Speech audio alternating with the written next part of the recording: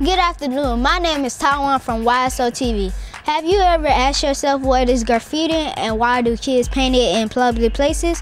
Let's talk to a few students in Riviera Beach, Florida, and get their view on this hot topic. Hello, my name is Jared Jackson and I'm from YSO TV, and today we're here with Matthew. So, Matthew, why do you think kids do graffiti? I think they do graffiti because they see kids in the neighborhood or their school doing it. So they think like they could do it whenever they want without getting in trouble. Thank you for your time, Matthew. You're the first on YSO TV. So, Soraya, what is graffiti? Um, graffiti is when people write on people's properties and they um, spray paint and write stuff on the house and walls.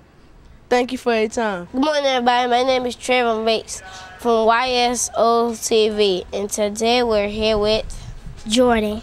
So, Jordan, why why are kids doing graffiti? I think they see other people do it and they don't care what anybody else say. Thank you for your time. So, Giovanna, what is graffiti? Graffiti is people writing on other people's property and it's not cool. Thank you for your time. Graffiti is any type of markings that are painted on a public place. There are many different types and styles of graffiti. It is has been around since ancient Greece. Local gangs are using the art form to mark their territory. This is against the law. It is considered vandalism. Jason, what way can we stop kids from doing graffiti? Well, first you can talk to their parents. Then you can um tell the tell their parents to talk to their kids to tell them to stop doing graffiti. Thank you for your time. Hey everybody, my name is Taiwan from YSO TV, and today we're here with Trayvon. So, Trayvon, how could we stop kids from doing graffiti? We can call the police and make sure they do something about it. Thank you for your time. You heard it first from YSO TV. Peace out.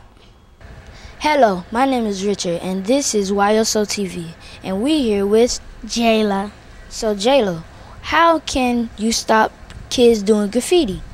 By telling your neighbors and tell them who is doing it and tell them to stop it.